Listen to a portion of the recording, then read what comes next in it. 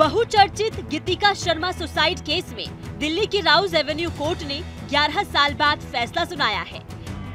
इसके मुख्य आरोपी हरियाणा के पूर्व गृह राज्य मंत्री गोपाल कांडा को कोर्ट ने बरी कर दिया है। इसके साथ ही एक अन्य आरोपी अरुणा चड्ढा को भी बरी कर दिया गया है। कोर्ट से बरी हो जाने के बाद सिरसा विधायक मीडिया के सामने आए और केस को झूठा बताया और कोर्ट के फैसले पर खुशी ज़ाहिर की। मेरे खिलाफ एक भी कोई एविडेंस कोई कुछ नहीं था। ये सिर्फ़ ये सिर्फ़ बनाया गया था और ये किस सोच से क्यों बनाया गया था ये कोर्ट ने आज फैसला दिया है। ये सब कुछ आपके सामने आपको ऑर्डर पड़ेंगे आपके सामने।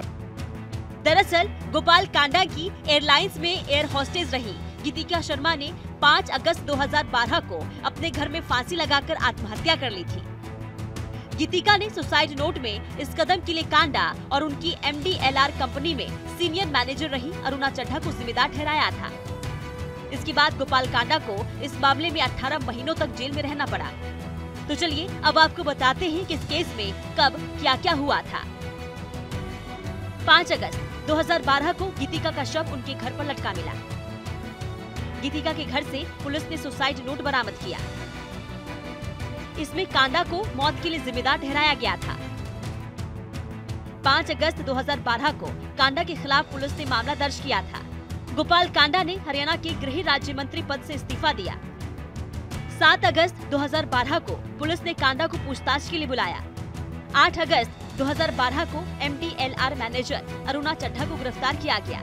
8 अगस्त 2012 को पुलिस ने कांडा को फरार घोषित कर दिया। वहीं 8 अगस्त 2012 को कांडा ने अग्रिम जमानत के लिए याचिका दाखिल की। 9 अगस्त 2012 को पुलिस ने कांडा के खिलाफ लुक आउट नोटिस जारी किया। 18 अगस्त 2012 को कांडा ने अशोक विहार पुलिस स्टेशन में सरेंडर किया। सुसाइड के करीब छह महीने बाद गीतिका की माँ ने आत्महत्या कर ली।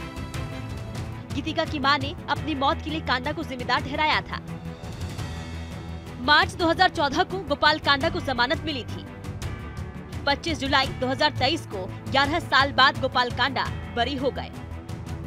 हालाँकि अब 11 साल बाद कोर्ट का फैसला आने से गोपाल कांडा को राहत ज़रूर मिली है तो वहीं दूसरी ओर अब देखना होगा कि गीतिका का परिवार हाई कोर्ट जाता है या नहीं। सूर्य समाचार के लिए दिल्ली से विनय सिंह की रिपोर्ट।